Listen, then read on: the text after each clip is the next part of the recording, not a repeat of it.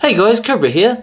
As you can see, I've got a couple of new Car Culture Team transports, and these are actually the latest wave. Uh, they're not available in New Zealand just yet. Um, I actually ordered these two online, um, but when they arrived, I um, unpacked them out of the box, and uh, there's something unusual about the one on the right. Uh, I've got Falcon with me, and Falcon was actually the one that spotted uh, the error. So you want to um, just tell us briefly what the error is on this one? So as you can see, there's something quite clearly missing upon closer inspection. So we're looking at the car, the R34, on the on the flatbed. Seems to be missing a windshield, eh, Cobra? Exactly. I was quite shocked when uh, Falcon pointed that out because initially I didn't notice um, because there's quite a bit of reflection on the um, box itself, on the on the blister.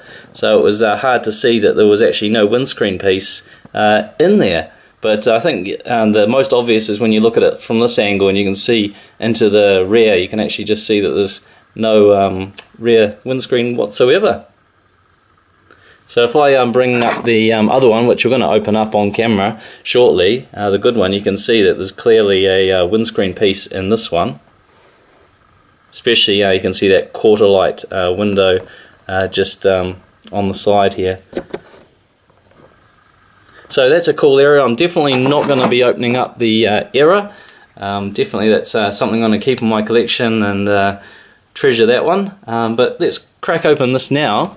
Um, while I'm cracking it open, Falcon's just going to um, have a quick um, mention about uh, the new truck inside.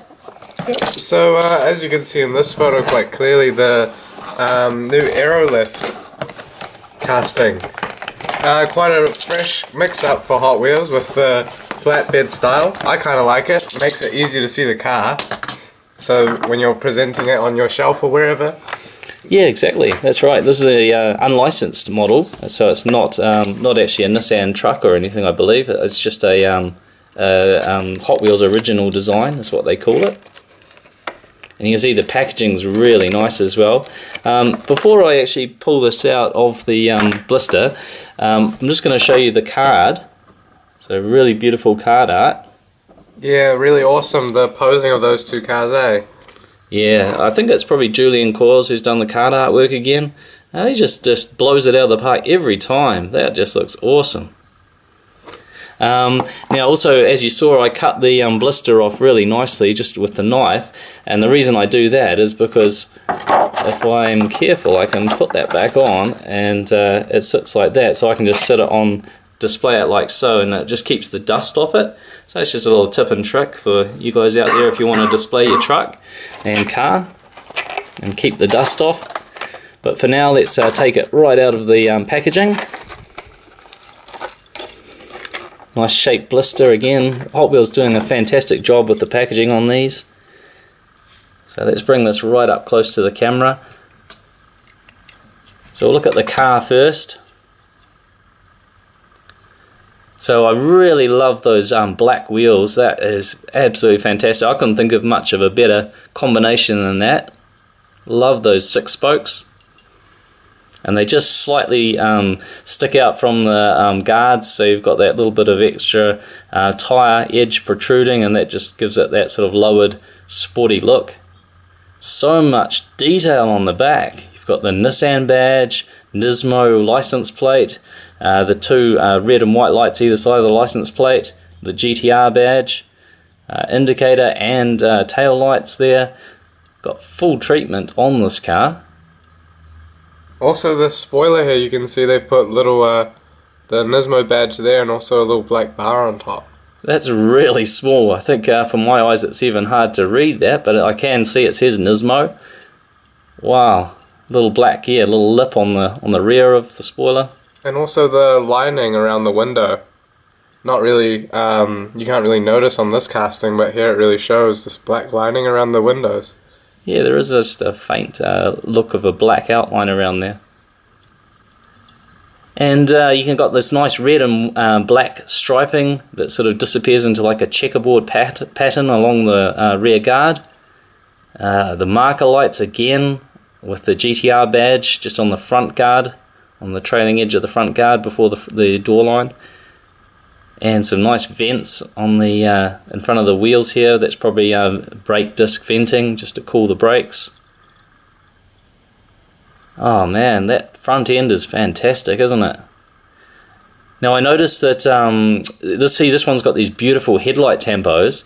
Uh, when I was looking online uh, to try and find some of these, um, I noticed that some were missing the uh, headlight tampo altogether. So um, that's just another quality control issue. So I've got a missing windscreen, and there's some out there that have missing uh, headlight tampos. So uh, just be aware of that when you're trying to find uh, the perfect example for your collection. Now this uh, also has a metal base, and it's sort of a uh, satin uh, finish on that metal base, and really great details in there too. All the way through to that single big bore exhaust pipe. Interior wise, um, we'll see if we can get a little bit of a look inside. So this is uh, correctly uh, right hand drive JDM model. Uh, you've got some beautiful uh, racing seats in there, like bucket style seats.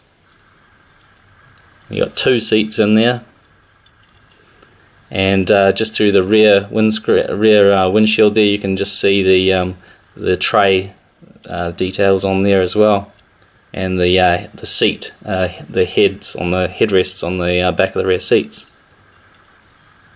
Beautiful casting. All right, let's move on to the Aerolift truck now.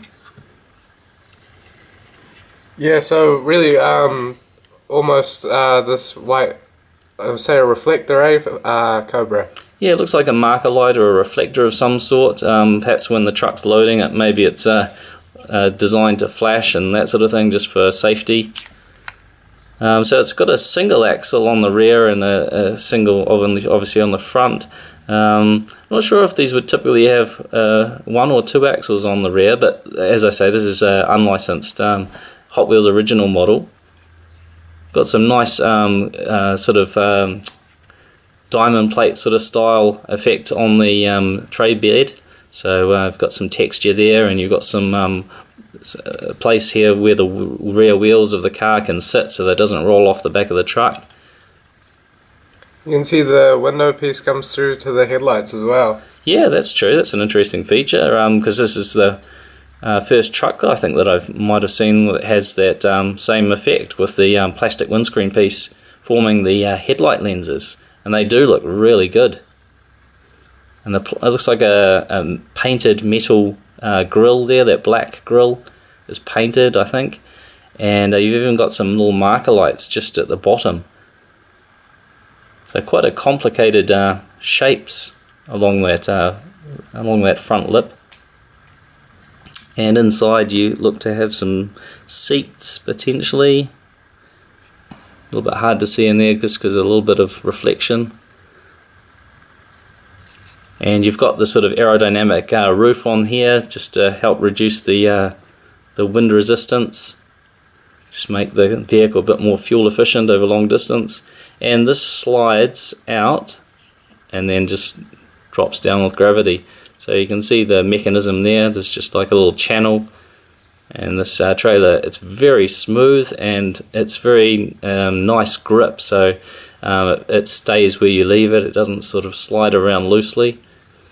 So let's load up this uh, Nissan onto the back of this truck. Give an example of loading it up. So it's nice and low.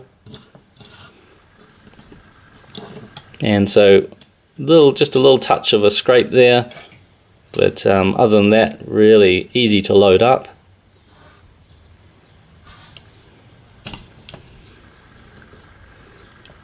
So that looks great. What an awesome combination there.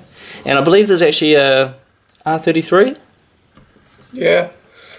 yeah, an R33 um, that's coming out shortly um, with this uh, exact same uh, racing livery. So that'll be great to see, and uh, we'll make a nice um, display set when you're displaying it on a shelf. Yeah, similar to the kind of then and now series as well, eh? Mm, mm. All right, thanks for watching, everyone, and we look forward to seeing you in the next video.